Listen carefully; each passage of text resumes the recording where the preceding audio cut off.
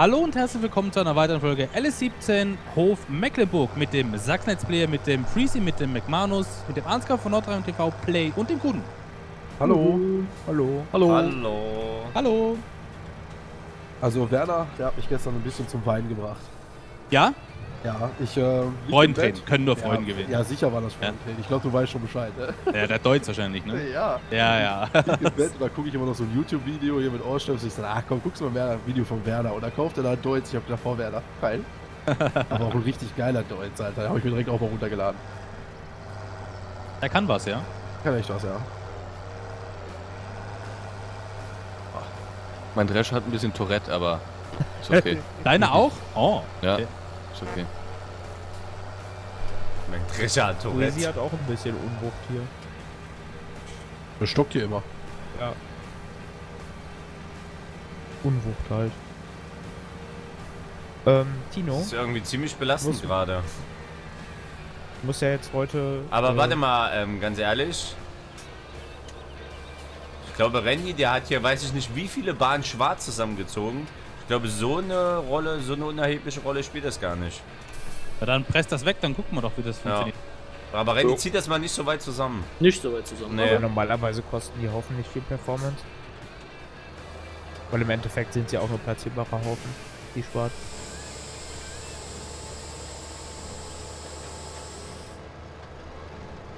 So, ich presse. Schauen wir mal, ob es besser wird. So, guten, was würdest du sagen? Ähm, auf jeden Fall, wir haben jetzt schon Folge 3, ne? Ja. Right. Und Ja, was Folge kommt drei in ist Folge richtig. 2 eigentlich immer? Ach, der, der Baustellenbericht. Genau. Muss ja mal, guten, guten macht ja so ein bisschen den Bauleiter, die Bauüberwachung, da muss ich mal Reportage abgeben hier. Ja, ähm, ich kann dir ich kann dir was Erfreuliches sagen, Guten, und zwar, ich habe circa 1,5 Kilometer Kabel verlegt. In Oh. vier Tagen. Und jetzt bist du ganz durch oder hast du noch was? Elektrik ist ähm, zu 97% fertig. Was das dann Kabellegen betrifft. und so oder? Jetzt warte ich auf meine Fensterbänke. Und wenn diese drin sind, dann äh, wird schon verputzt. Du glaubst es nicht. Geil. Ja, also äh, das erste OG wird schon verputzt, ja. Weil ähm, dann die Innenwände reinkommen. Im ersten OG. Das sind ja noch keine. ja. So sieht's aus. Aber ansonsten gibt's nichts weiter. Ein paar Meter Netzwerkkabel habe ich auch schon gezogen. In jeden Raum eins oder wie war das? Nee, nee, nee, nee. Nee. Nee, nee. Ist ja Quark, für was denn? Weil haben ist besser als brauchen. Na, keine Ahnung, aber Gäste-WC-Netzwerk. Kannst du alles Video überwachen, ne? Wenn du mal hast. Ja, aber ey, heutzutage- heutzutage gibt's ja- Und, äh, Heutzutage hast du ja WLAN-Kameras, da brauchst du ja nicht mal Netz. Äh, brauchst ja. Steuerst ja keine Kamera mehr mit dem LAN-Kabel an. Das waren noch Zeiten. Mhm. Ja. Nein, aber ansonsten, ja, Fernsehkabel und so weiter, das liegt auch schon alles. Die Küche hat ein, ein Netzwerk bekommen. Ähm, die. Von meiner Frau das Büro hat ein Netzwerk bekommen. Von. Die Kinderzimmer logischerweise beide haben ein Netzwerk bekommen. Äh, mein Büro hat äh, drei Netzwerk bekommen. Und ähm, das Wohnzimmer hat ein Netzwerk bekommen. Und ich weiß gar nicht, was was noch? Was noch was? Ja, ich glaube, das war's im Großen und Ganzen. Ja, Hast du, hast du jetzt eigentlich schon einen fixen Fertigstellungs-Umzugstermin? ähm, ja, also Weihnachten würden wir gerne im Haus ähm, verbringen. Ja. Das wäre schön, ja. Aber wir wissen nicht, ob wir das zeitlich schaffen. Okay. Weil es ist ja jetzt doch auch schon wieder März. Und ähm, ja, die Zeit rennt halt einfach weg. Ne? Ja, klar. Normal, wenn du jetzt bald Putz kriegst und so, dann ist das glaube ich doch durchaus. Na gut, ich muss jetzt, ich kriege jetzt den Putz im ersten OG und dann ist der Plan, ähm, nachdem das erste OG verputzt ist, alle Innenwände rein. Dann muss äh, die restliche Elektroinstallation in den Innenwänden, die dann gestellt werden, noch reingezogen werden. Dann muss die gesamte Wasser-Abwasserinstallation rein. Dann muss ähm, der Fußbodenaufbau, das heißt Fußbodenheizung mit allem drum und dran rein. Dann ist das erste OG eigentlich ganz gut. Und äh, da müssen noch die ganzen Decken abgehangen werden. Und ähm, dann muss äh, im Erdgeschoss quasi äh, äh, die Decke isoliert werden, weil da ist ja die ganze Insta kommt ja die Installation rein in die Decke. Deswegen muss oben das fertig gemacht werden. Und dann kann die Decke isoliert werden, die Dampfbremse rein, dann kann unten verputzt werden, dann die Decken abgehangen und dann unten Fußbodenaufbau mit ähm, Fußbodenheizung und äh, unten kommt der Nassestrich. Ja. Also das ist schon, äh, aha, das ist, Ja, aber hast du ja dann auch noch war neun Monate? Nee. ja, Ja, ja, ja. doch, neun Monate vielleicht ungefähr. Aber sehr, sehr straffes Programm auf jeden Fall. Also das steht fest. Und Außenbereich habe ich auch noch ein bisschen was zu tun. Und außen muss das Haus auch noch verputzt werden. Gut, das lasse ich nebenbei machen, davon mal abgesehen. Mhm. Und verputzt, äh, kommt da Klinker drüber oder machst du so Putz mit Anstrich? Äh, ne, kommt Putz drauf, Grundputz und dann Edelputz. Also äh, ganz normal, also ähm, Strukturputz dann. Ja. Und dann Anstrich, ja. Lila oder braun oder schwarz. Oder, Jü- oder, oder Schwarz? Wow. Nein, Quatsch. Weiß. Ich, mein, ich, ich finde an der Fassade, muss ich jetzt mal so sagen, ähm, muss ich meine Frau noch ein bisschen überzeugen, ich finde an der Fassade so diverse, mh, wie soll ich sagen, so Holzakzente ziemlich geil. ja. Weißt du, so, so, so ein bisschen so dickere Balken, so, so ein paar Holzakzente einfach. Oder dickere Latten, so quer, so dran, immer mit so ein bisschen Abstand dazwischen. Ich weiß nicht, ähm, ob ihr wisst, wie ich das meine, so ungefähr. Ja. Ja, und ähm, das finde ich sehr, sehr geil. Gerade, sage ich mal, zwischen den Fenstern, weil die Fenster im Erdgeschoss bei uns sind ja identisch mit den Fenstern im ersten OG. Also, ne, ist ja eins zu eins gespiegelt quasi. Und ähm, da könnte man zwischen den Fenstern quasi so, so einen Holzakzent ziehen. Und dann so ein bisschen dunkel streichen, weiß verputztes Haus. Also würde mir persönlich sehr gut gefallen. Aber muss man natürlich schauen, ist natürlich auch eine Kostenfrage. Ist nicht ganz günstig. Glaube ich. Ich weiß es nicht. Habe ich Ja, nicht ist bestimmt günstiger als nur verputzen. Äh, teurer als nur verputzen. Ja, das auf jeden Fall, weil verputzen muss das so oder so. Ja. Ja, ja aber naja. Hast du dich jetzt eigentlich da mit deinem FTTH nochmal irgendwie äh, was erreicht? Nee. Also da ist aussichtslos. Mies. kriegst ganz normal deinen Anschluss von der Telekom ins Haus und dann gehe ich halt wieder zu meinem Anbieter, wo ich jetzt schon bin, die halt das äh, Kabel, ihr eigenes Kabel bis zu diesen Verteilerkästen im Dorf gelegt haben. Ne? Und ähm, ja, wäre halt weiterhin mit einer 50k-Leitung dann mich zufrieden geben müssen. Ja gut, ist ja auch okay, ne? Ja, definitiv. Die 10k halt hoch wären halt nur geil, wenn es da was. Äh, 50k down reicht mir. Das ist äh, vollkommen okay. Wenn sie mir jetzt noch 25 hochgeben oder was weiß ich oder 30 hoch, dann hätte ich eigentlich 50, so 50. das 50-50 wäre natürlich optimal. Ne? Wir wollen ja nicht frech werden, aber das wäre das wäre ein Träumchen, ja. Schön ist auch, bei mir liegen ja immer noch die Leerrohre. Also die, also äh, die verlegen gerade überall, machen überall die Erdarbeiten und vor meiner Haustür stehen halt wirklich so, steht so eine große, kennt man ja diese 2 Meter Durchmesser, Ja, Holz, äh, ja, Rommel da, genau. Rommel, genau, wo dann so orange Leerrohre drin liegen, die die dann Mhm. in die Straße legen. Mhm. Äh, schön ist auch, die haben jedes Haus fertig gekriegt, außer unseres. Gut, wir sind am Ende von so einer Sackgasse, ne? Da hatten sie Mhm. keinen Bock mehr. Nice.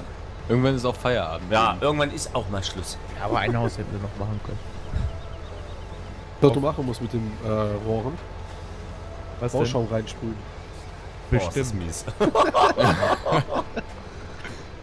Und dann so, wenn sie es verlegen und das Da kann ich Kabel. meine eigene Leitung noch Vor allen Dingen, wenn das Geile ist, wenn sie es verlegt haben und dann das Kabel durchschieben, merkst du dann irgendwann bei der Hälfte, geht nicht weiter, was ist da los?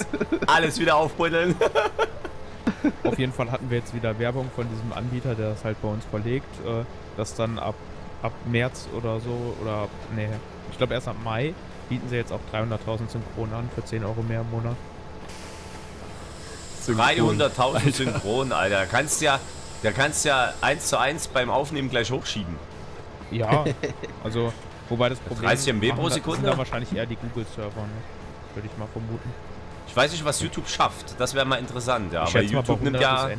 Was? Hochladen und drei Streams gleichzeitig machen wäre super. Ja, oder drei Videos gleichzeitig hochladen und in 4K streamen. Aber weiß das jemand, Ja. was YouTube-Server, was die maximal abkönnen?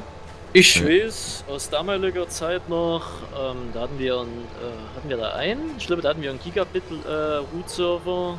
Das hat YouTube voll angenommen damals. Das war 2012, 2011. Ja, aber YouTube, also YouTube hat eigentlich äh, sehr, ich glaube, sehr, sehr gute Kapazitäten. Ja, aber ich, aber ich hätte eigentlich gedacht, dass die über 100.000 oder so sagen, also über 100 Mbit. Einfach äh, Ende. Mhm. Also ich, so wie ich mich noch daran erinnern kann, weil ich das einfach spaßeshalber damals so gemacht habe, das, das ging. Also der hat das voll ausgeschöpft. Ist schon geil, in zwei Minuten so 4 Gigabyte hochschieben. Also ich, ich hatte jetzt ausgerechnet, drei 200.000, dann müsste es ungefähr 85 Gigabyte die Stunde sein. Synchron. Äh, könnte Oder? hinhauen, ja. Also ich habe jetzt Also bei momentan, 140 oder so bei 300. ich habe jetzt momentan aus irgendwelchen mysteriösen Gründen, ich weiß es selber nicht warum, 35 Mbit Upload. Oh, Ich habe okay. es nicht bestellt, ich habe es einfach momentan. Frag mich nicht warum. Gar nicht, gar nicht einfach lassen. Einfach Ja, akzeptieren. Ne, es da würde ich in der Suppe egal. würde ich gar nicht rumrühren. Also ein normales 15 Minuten Video in 8 Minuten oben. Wow. Ja, ist Wie bei mir auch groß? so. Was haben die? 3,5 Gigabyte, 4 Gigabyte vielleicht? Ja, also gleiche Größe. Auch so 25, 28 Mbit. So circa. Ja. Das ist schon. Also sie bra- verbrauchen länger zum Verarbeiten, als wie ich zum Hochladen. Ja, Das das, ist immer ist, ist Ja. bei mir auch so. Und Das das Verarbeiten nicht so. könntest du mit einem gewissen Dateiformat aber auch noch schleppen. M2TS, ja. Der M2TS-Dateiformat Datei, Dateiformat nimmst, dann äh, ist unglaublich die Verarbeitungsgeschwindigkeit für YouTube. Also das, die zwei verstehen sich. Datei und Die sind YouTube. so. Die Ja. sind so. Bro. Die sind, ah, die sind dicke. ganz dicke sind die. Ja. Ganz, ganz Ja, dicke. das ist, das ist AVC, äh, 264er Codec, ne, Standard, aber halt Ja. nicht als MP4, sondern als MT, äh, M2TS. M2TS, Ja. genau. Und da, also meine Videos, ne, ich habe das, äh, Tino hatte dann ja auch das Renderprogramm, was ich hatte, weil das, das funktioniert dort, ne, das hat die Unterstützung. Ja. Und das war war, war war Willst du Power Director sein, ne? Drei Nee. Power Director. Ach doch, ja, stimmt, stimmt, Doch, stimmt. Ja, stimmt. Power Director. Ja. Das war Da verarbeiten die 2TS. Videos. Ich finde das klasse, Minuten? das Renderprogramm, muss ich echt sagen. Wahnsinn. Wie heißt das? Äh, Power Power, Director. Director. Also Cyberlink nicht. Power Director. Vor, Ja, was habe ich war bezahlt, Randy? 80 Euro? Du hast lieber die Ultimate? Ja, 80 lieber. Für die Ultimate 80 Euro bezahlt, hab's mir ganz normal offiziell gekauft. Also ist sein Geld absolut wert. Kann ich dir empfehlen, wer so ein bisschen Video-Editing macht oder machen will, jetzt nicht zu ausgefallen und zu umfangreich. Äh, ist super, super Programm, ganz easy zu handeln. Ich habe vorher mit Oh, Magix gearbeitet und Magix, ähm, da kommst du halt sehr schnell an deine Grenzen, ne? Glaube ich. Hm, Ich weiß nicht, ich glaube Magix ist, eigentlich. Also ich hab, hab, hatte als erstes damals Power Director, dann hatte ich äh, Sony Vegas und dann hatte ich. Ähm, Sony Vegas ist eigentlich relativ umfangreich, ne? ja, aber ich finde das total, weiß nicht, ich arbeite damit nicht gerne.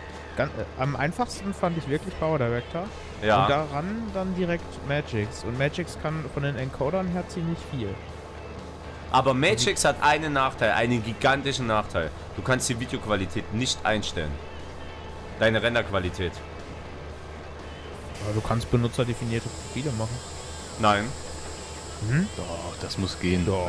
Also ich habe, ey, ohne Aha. Mist, ich habe ich hab ein oder zwei Jahre Magix benutzt. Du kannst keine Qualität einstellen. Also du kannst zwei verschiedene Qualitäten auswählen für MP4-Dateien. Das war's. Du kannst die benutzerdefiniert machen, Bitrate einstellen. Du kannst auch mit äh, hier. Äh, Ich glaube auch, dass ja, das dass geht. Das muss gehen bei das Magix. Mit mehreren Nee. Encodierdurchgängen und so. Dann geht's bei den neueren. Also ich hatte Magix 15, glaube ich. Aber also ich da finde ging's Magix auch scheiße, aber das müsste es eigentlich können. Also meins konnte es nicht. Also wirklich nicht. Ich habe da, ich habe nur deswegen das Renderprogramm geändert, weil ich habe mich an Magix gewöhnt und habe ja ähm, quasi äh, alles damit gemacht und habe nur wegen diesem Kriterium hab ich, bin ich zu Power Director gegangen.